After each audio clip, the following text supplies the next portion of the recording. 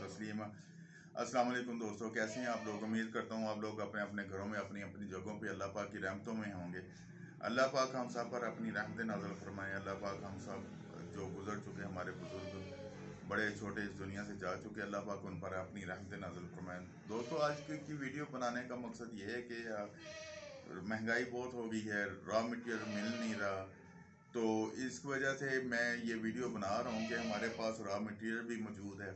अगर किसी दोस्त ने लेना हो, सोडा ऐश है कास्टिक लई है सल्फ्यूनिक एसिड है शैम्पू बेस है, हर चीज़ है। अच्छा और हमने ये बॉटल्स भी मंगाई हैं। बॉटल्स अगर किसी को चाहिए हों तो वो भी इंट्रोड्यूस करा सकता हूँ। वीडियो शुरू से लेकर आखिर तक देखेंगे तो आपको पता चल सकेगा कि हम लोग क्या क्या है, मौजूद है हमारे पास, हम क्या क्या सेल कर सकते हैं।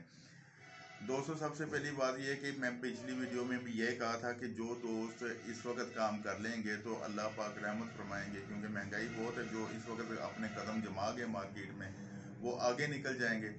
जो नहीं जमा सके या जो डिसार्ट हो गए, जो दिल छोड़ जाएँगे तो वो इस वक्त फिर उनके लिए मुश्किल हो जाएगी। अच्छा जो इस वक्त काम कर जाएँगे वो आगे निकल जाएँगे, क्योंकि